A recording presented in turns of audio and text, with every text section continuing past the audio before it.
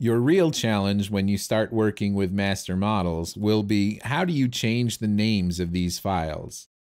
If you thought assemblies and in context references were difficult, you may find that master models are equally difficult to deal with when file names change.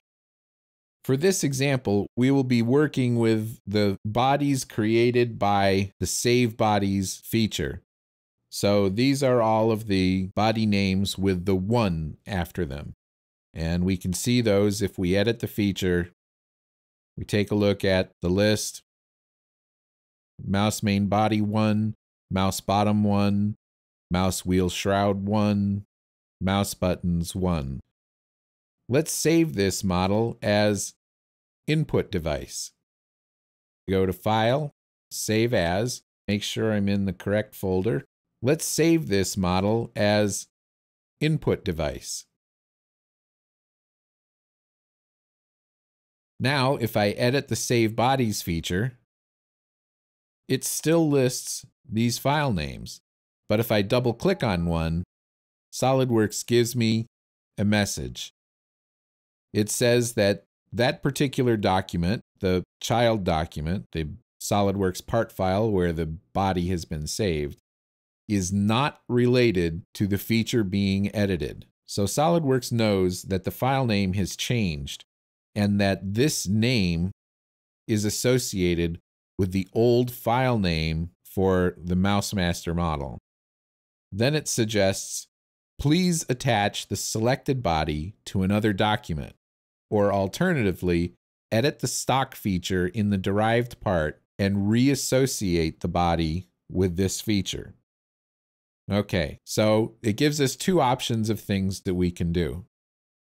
The first thing we can do is assign a new name for the mouse main body. And I could just click on the browse button and say mouse main body 2. And then you'd have to go through this exercise for the rest of the files in this feature. The other option that SOLIDWORKS suggested was to open up one of the individual part files and come at it from the opposite direction. So let's open up for chapter 6, say the mouse buttons part.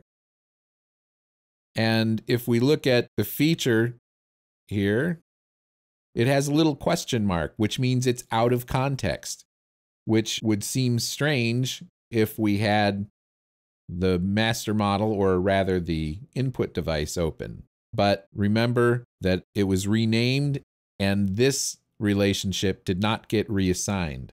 If I right click, edit in context, it will pull up the mouse master model. This is the old file. Notice in my window list, I have the input device and the mouse master model both open.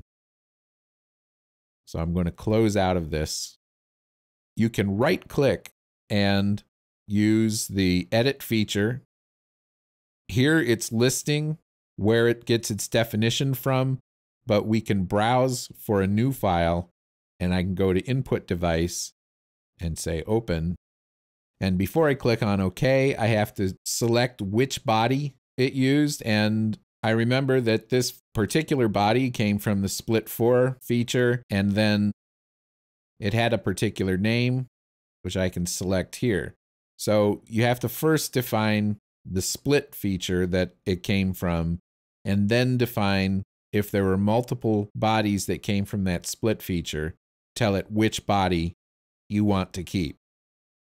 So while that interface is not exactly simple, it is very powerful and it does allow you to reconnect a child document to its parent document through all of the changes that may happen in typical file management.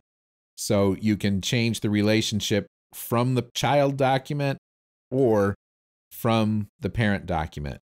If you change it in the parent document, you are going to have to rename the child. If you do it from the child document, you will have to deal with the interface with selecting the split feature and the particular body.